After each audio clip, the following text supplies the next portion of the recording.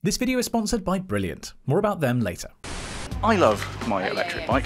I love it so much, I wish sometimes I could just cycle forever. So, I bought a solar panel, attached it to the back of my bike, and in this video, I'm going to see how far I can cycle without running out of charge. How hard can it be?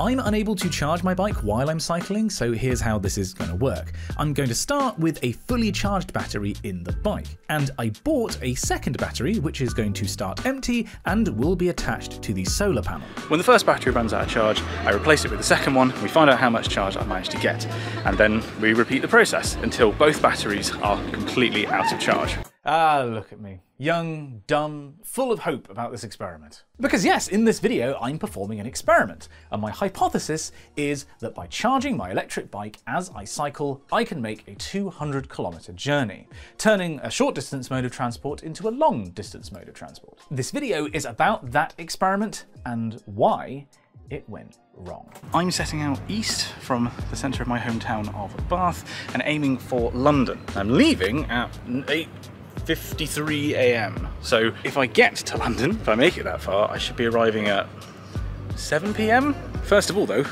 I've got to get out of Bath. This is the bit I'm most worried about. Leaving at 9 on the dot. Here we go.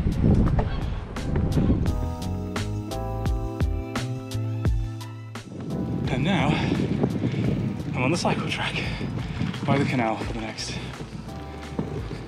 100 miles. I'm going to be cycling largely along the Kennet and Avon Canal path, which I use every week to cycle to my mum's. I wasn't keen on cycling on main roads because of the trailer and the small chance something could fall out of it and damage a vehicle. It could be dangerous. So, the canal path. It runs from Bath to Reading, and then, as with most things, once you reach Reading, things go downhill. I'll be finishing the route on some main roads aiming for the centre of London and specifically Big Ben. I should probably mention I'm filming this on one of the sunniest, obviously, but also hottest days of the year, so I'm kind of wishing for shade, but at the same time, shade is the last thing I need today. Now, the total planned route today is about 200 kilometres, and uh, according to my watch, I've gone, oh, three. I thought it was more than that. One of the reasons I'm wearing these sunglasses is to keep the sun out my house. The main reason is because I'm in a mortal struggle with pollen at this time of year. My eyes are streaming. Unless I'm mistaken, I believe I've just crossed the Dundas Aqueduct, which is the first landmark on the route. However, I think I may have just taken a wrong turn. Yeah, I want to be on that side of the river. Okay. I'm walking my bike because I was politely asked to buy a sign. That's what you need, you need a panel on it. Don't know how well it works yet. Great pub here called the Cross Guns do excellent cheese and chips. Like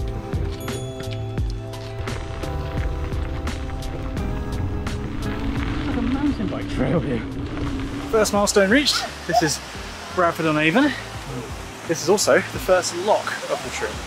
If you don't know what a lock is, uh, I'll explain in a little bit because we're going to see more of these. It's been just over an hour. We ticked over the hour mark, so I'm just going to stop briefly, take on some water, maybe have a snack. Uh, we've gone 16 kilometers, 60% charge left. We'll definitely make 30, maybe 35 kilometers before we need to change over. Solid. A problem I wasn't expecting. My panel's getting dusty. I'm gonna have to clean it off. This is like the Mars rovers. Is, is this gonna be what finishes me off? Dust? When writing up an experiment or scientific study, you break it up into sections. First of all, an introduction in which you introduce your hypothesis that you've already heard, background information including assumptions that you make in your study, methodology, results, and discussion. So, what were the assumptions that went into my hypothesis? Because depending on who you are, watching this, you may be thinking, yeah, this is definitely going to work, or what are you doing? This is definitely not going to work. Let's consider the energy going into the bike and the energy leaving the bike. My bike's motor has a power output of 400 watts. So in order to truly go forever, I would need a solar panel with 400 watts of capacity. But I don't have that, I have 100 watts. However, you can dial in how much support the electric bike gives you at any time. And on the cycle, I was using no more than 50% power. So I wasn't using 400 watts, I was using 200 watts. And further, my kind of electric bike only engages its motor when I'm pedaling and going less than 25 kilometers per hour. In my everyday usage, I estimate that I go over that threshold about 50% of the time. So in a given hour, say, I draw 200 watts half the time, so 100 watts on average. This is looking a bit better. But the panel is only going to generate 100 watts of power in direct sunlight when it's facing the sun. And that's not always going to be the case. I need to multiply the 100 watts going into my system by some number between 0 and 1 to represent how frequently I'm facing in the wrong direction. I estimated that this would be 50% of the time. And so, on average, I would be generating 50 watts. Now, this may look like I'm setting myself up for failure, but firstly, this 50% and this 50% are just estimates. They could be wrong. Secondly, if it looks like I'm drawing too much charge too quickly, then I can just reduce the amount of support that the bike is giving me. And thirdly, I don't need to finish with a full battery. If I expend a battery and plug in a new one and find that I've only charged it to 60%, say, yeah, eventually I'm going to run out of charge, but it still might be enough to get me to London. And especially when you consider the fact that I'm going to have to take breaks and I'm going to have to eat lunch, there will be times when I won't be cycling and I'll just be able to charge for free. The numbers are borderline, but I thought there was a chance it could work. There were, however, a few things I didn't expect. So I did a bit of a stock check after my refuel stop, and uh, it's not looking great. I was storing a few things in the trailer, and yeah, they're all gone. Like the, the route here is so much bumpier than I would have expected. And not only are a couple of tools gone, so too is the shock absorption I put in. At this point, I'm concerned for the structural integrity of this whole setup, let alone the charge. I may need to adjust the route this way because I don't know how much long, longer the bike can take this. The path here is so narrow. I'm not feeling too confident about this. Alright, nothing to do but try. I should mention, by the way, that I've been using this bike for over two years now, and I love it. Pretty much any journey up to 10 or 15 kilometers in the local area, I'll use the bike for. It's definitely made me fitter and more active. And to be honest, I've not had any problems with it at all. I'd still highly recommend getting an electric bike, especially if you live in a hilly city like Bath. One hour, 40 minutes in, we've gone just shy of 23 kilometers, so we're over 10% of the way. Hey, it's been challenging, this terrain, like in a way that if I didn't have the trailer would be fine, but lots of little annoying things, like it keeps triggering the parking brake because the, the path's so narrow and the vegetation keeps clipping it. This is tough, tougher than I was imagining.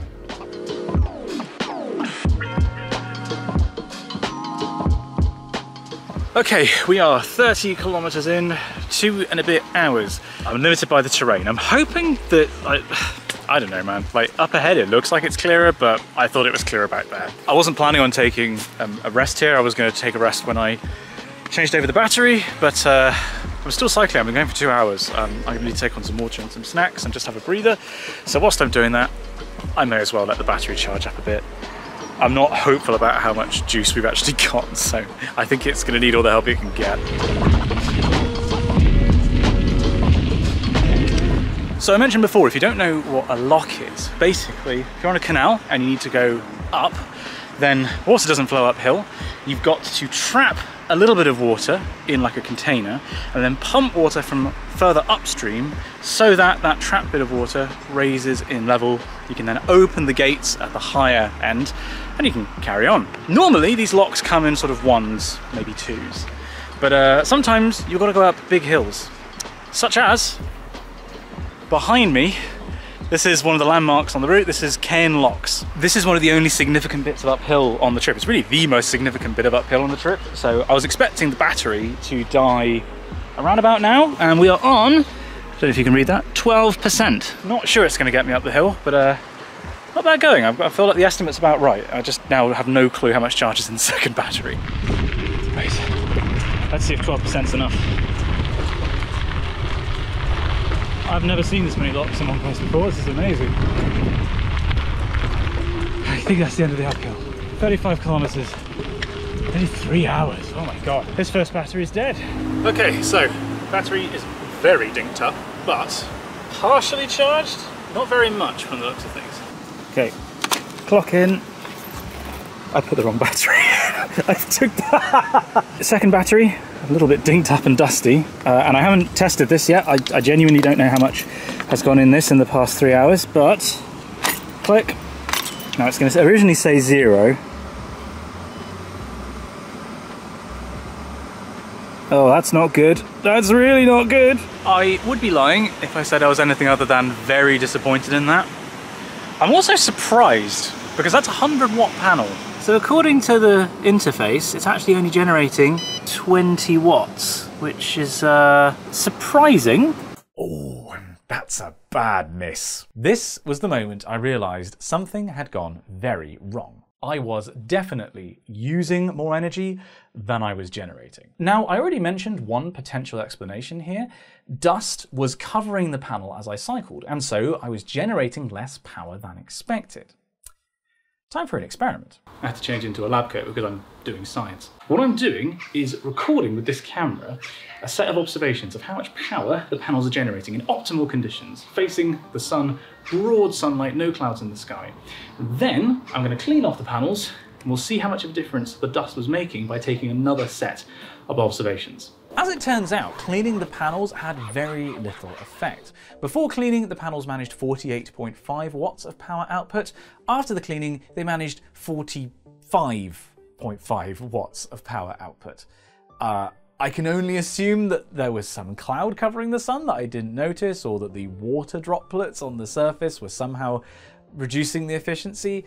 But apparently, by cleaning my solar panels, I actually made them worse. However, the fact remains that despite being rated for 100 watts and generating that much before the experiment, which I don't have proof of, you'll just have to believe me, the panel was only generating less than 50 watts in ideal conditions.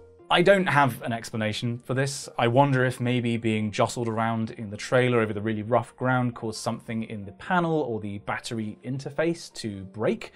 But whatever the cause, I was generating a lot less power than I expected. Compounding this, I was going a lot slower than expected because the cycle track was narrower and significantly rougher than I was expecting, with that being based on how nice that same cycle path was in the other direction, the direction that I cycle in every week to visit my mum. So I was traveling below the threshold of 25 kilometers per hour, not half the time, but basically all the time. And so basically all the time I was drawing power. Back to Devizes, I could see that things weren't working out, but I was determined to carry on going and just see how far I could get. But when life gives you lemons, uh, try to cycle to London. That's how it goes, right? Leaving Devizes was interesting because it showed that away from the cycle path on road, I was actually getting beyond 25 kilometers per hour and so not using the battery. The extra drag from the trailer was significant, but my assumption of using the battery about half the time on good terrain was actually about right. However, before long, second battery has just conked out in the middle of nowhere. And yet, somehow, the irony, right underneath a power transmission line. we are just shy of four hours in and just shy of 45 kilometers. I was not expecting the average speed to be this slow. There are several factors. It is about lunch, no, it is lunchtime. So what I'm gonna do is leave the bike charging for the whole time I'm gonna have lunch, like half an hour or whatever. We'll see how much charge is in the second battery. We'll go from here. I, I genuinely don't know how far it is to the nearest town. My notes are on my phone. Maybe we'll be able to get to a train station to get back. Well, may maybe. So this has been charging over lunch and I've made an improvement to the energy efficiency. Click. It's gonna show 0%. 18. So definitely an improvement. Still, 18% isn't very much, so I can't imagine we're going to be going very much further. At this point, it was pretty clear that the experiment had a result, and I wasn't going to get to London. My hypothesis had been disproved. Disproved because of some assumptions that went into it being incorrect, and an unexpected fault developing in my equipment. However, the experiment being done or not, I was still in the middle of nowhere. I had a new objective make it to the next train station on the route without running out of charge. You know, if I wasn't carrying so much stuff, and it wasn't quite so hot, and my allergies weren't killing me, this would be rather nice. This is quite a nice experience. I didn't start my watch immediately, so I don't have an exact number on how far we've gone, but it's been about over a kilometre, maybe about a mile. Down to 11% battery. I think this experiment is going to come to an end quite soon. 4% battery. Pewsey is just about in sight on my Google Maps, but just over there actually. I can see the train line that I want to get on. I've gone down to ultra low battery, like literally the minimum that the battery can give me. It feels like dragging a sack of potatoes behind me. Like that's literally how much extra friction it feels like. 3% battery. Uh, I'm on what I guess you could describe as the final approach to the town I'm aiming for, Pewsey. We're on 1%. It is mostly downhill at the moment, so I'm just coasting, but if this goes, the only hope I have is whatever I've managed to get into the battery in the past, like, I don't know, half an hour. Which won't be much, but it could make all the difference, I don't know. I've got one eye on the road and my other eye is looking at the battery gauge. It's been on 1% and blinking for a little while. I'm not pedaling, I am purely going downhill. Come on, it's five minutes. Five minutes away, come on. One minute, come on. Okay, 1%. I made it. oh my god, I actually made it. Oh, look at that. 100% just about to die on the lowest level of support possible. Okay, so this isn't London, but I've run out of charge. Uh, I have nothing left in the, in the main battery, and I'm pretty sure if I check the other one, I'd have like 2%. This is, I think, where the journey has to stop, and I've just got to wait for a train. It was here, as I packed everything up and got on the air conditioned train home, I had an epiphany. Watching the countryside go by at like 150 miles an hour, why didn't I just do this in the first place? This is so much easier. Electric bikes are fantastic. I love them. But they're like dwarves, designed to be used over short distances. We dwarves are natural sprinters! In last month's video on decarbonising transport, I talked about distance dependency, how each scale of travel needs to be considered separately. And the fact is, we have travel modes appropriate for long distance that are low carbon, such as trains. And much as I love my electric bike, there's simply no need to make square pegs like it fit into round holes like intercity travel. Electric bikes will be a significant decarbonising influence on short distance travel, especially on urban freight. But asking them to do more than that is setting yourself up for failure. Could you ever make this work? Well, if you had a working, more efficient panel, then maybe? But to be completely honest, by adding the solar system and the trailer to put it in, you're adding so much extra mass and so much extra friction that the benefits of using the electric bike over, say, a road bike just aren't worth it. I'd like to do this journey again on a road bike at some point in the future. As I said in the video, I actually really enjoyed the experience. It just turns out that I basically made it as difficult for myself as possible. When you were in school, you may have found that you were taught about subjects like solar power in a way that also made it about as difficult as possible for you. Someone stood at a board and basically just telling you things and expecting you to memorize them and then regurgitate them later on an exam. Not exactly effective at getting you to understand the material, and certainly not fun. A more effective, interactive, easy, and free way to learn about solar power and hundreds of other concepts in science is this episode's sponsor, Brilliant. Brilliant teaches you about maths, science, and computer science in a fun, interactive way. One of the thousands of lessons, with more added every month, is on solar power and how much area would be required to power the Earth's economy with solar panels. If you're a student trying to get a different perspective to that offered in a classroom, or a busy adult who would like to learn new topics in bite sized chunks, little and often, like I do, then Brilliant can help you reach your goals and give you a different perspective on the natural world, customizing your learning to fit you. Brilliant has sponsored my videos for several years now, and I think the reason we work so well together is because if you like my videos, you're gonna like Brilliant. I try to make videos that are about processes and methods, not just about facts. And where possible, I try to implement or demonstrate a concept rather than just talking about it, as I did in this video. So if you like this video, I think you should sign up to Brilliant because I think you'll like it too.